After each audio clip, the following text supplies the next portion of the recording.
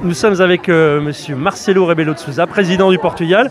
Monsieur le Président, quelle importance ça a pour vous d'être présent à l'inauguration de ce café joyeux? C'est une idée remarquable, qui d'ailleurs en France et partout. On m'a dit qu'il y en a déjà sept. Euh, le président Macron a été au moment où cette idée remarquable a démarré en France. Ici, je suis avec les jeunes, ils sont là-bas. Et c'est une idée qui veut dire inclusion, solidarité, mobilisation et, une alliance euh, entre la France et le Portugal, le Portugal et la France. Euh, On m'a dit aussi que c'était Lisbonne, le- le- disons, le exemple d'une réalité tout à fait française. En dehors de la France, il n'y avait que le Portugal pour le moment, c'était Lisbonne.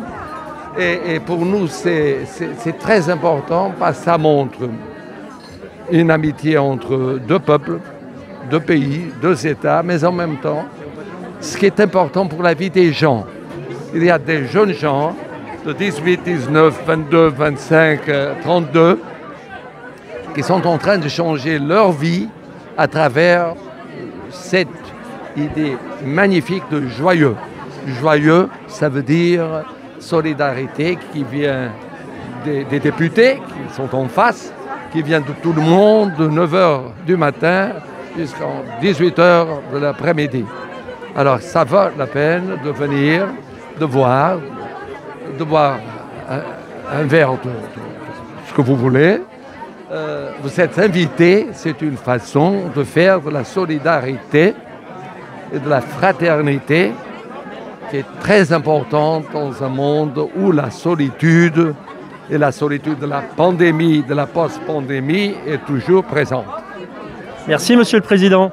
Madame la secrétaire d'État, j'imagine que vous, que vous êtes on ne peut plus d'accord avec les mots du président de Sosa? Suis d'abord très fière d'être ici avec le président pour l'ouverture du premier café joyeux hors de France, à Lisbonne. C'est la coopération entre le Portugal et la France, c'est la performance sociale au service de la performance économique.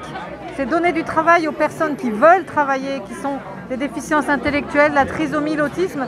C'est comme ça qu'on change le regard sur les compétences des personnes. Et donc, euh, quoi de mieux que cette semaine européenne de l'emploi des personnes handicapées, de célébrer euh, justement cette coopération entre la France et le Portugal en exportant le premier café joyeux à Lisbonne. Donc merci Monsieur le Président d'être là. Merci, Madame la secrétaire C'est très important de, de pouvoir montrer les- vraiment le- tout simplement le meilleur de ce que l'on veut faire, c'est-à-dire une société inclusive. Ah, notre secrétaire d'État, elle arrive. Oh, minha querida, temos aqui a secretária. Madame la secrétaire d'État aux personnes handicapées euh, du gouvernement portugais.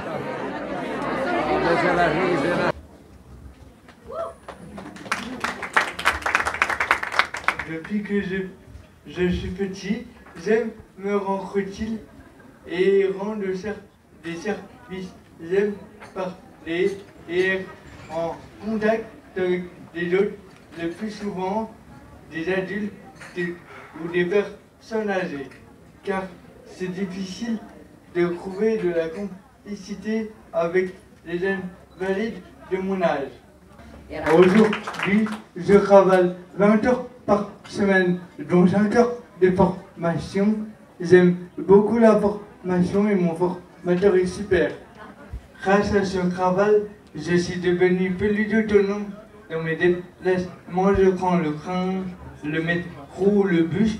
Quand, je- quand il y a des problèmes de trafic, je me repère de mieux en mieux dans Paris et ça me donne vraiment confiance.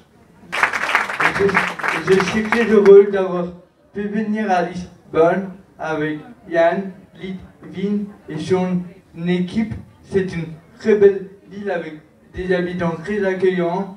Et je vous souhaite à tous des super services dans ce magnifique joyeux portugais.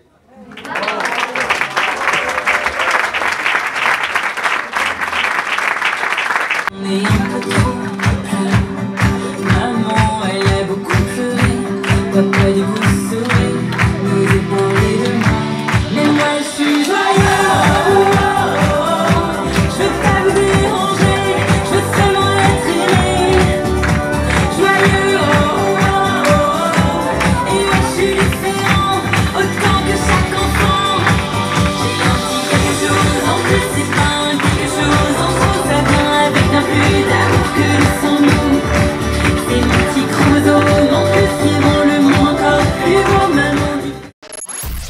French Radio.